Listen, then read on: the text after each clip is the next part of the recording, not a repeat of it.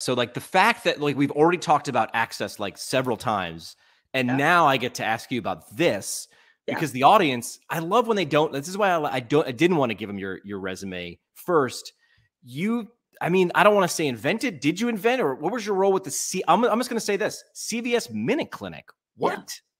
So CVS Minute Clinic um, I, I, I was there for about eight years, and no, I didn't invent it. A bunch of physicians did about 20 years ago, believe it or not. Wow. Very forward thinking. Um, but I loved the disruptive nature. If you think about it, and you know you're young, and probably a lot of people are young, but back in the day, you either go to the emergency room or you go to your PCP. There was nothing in the middle.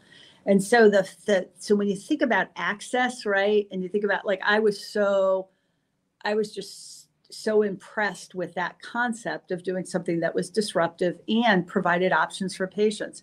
And by the way, when in Minute Clinic, um, uh, 50% of the patients were seen after traditional physician hours. Really? So evenings and weekends. You think about working people. You think about people that have, you know, kids that are in school, et cetera, et cetera. So I loved the disruptive nature and the creating access. Retail health is all about making it easy for patients, making it convenient for patients, and pushing the envelope on whatever you can do so that the provider can just see the patient. That's so why they signed up, right? I mean, that was yeah. the idea where they signed up. But if there's a barrier, so now we go back to obviously, I mean, putting a, a first of all, the marketing on that, just calling it a minute clinic, because uh, because one of the things people think of is I'm going to show up, I'm going to have to wait around for a while, it's going to take long, I don't have time, and you they, you put it right in the name. It's a minute clinic. Yeah, yeah.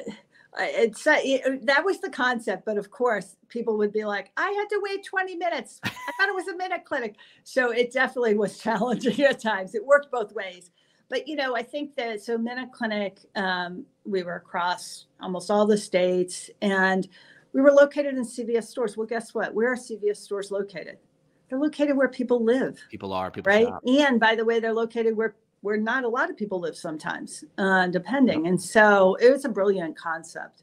Um, I can take no credit for it. Um, but it was creating access that was easy, convenient, affordable, and high quality care.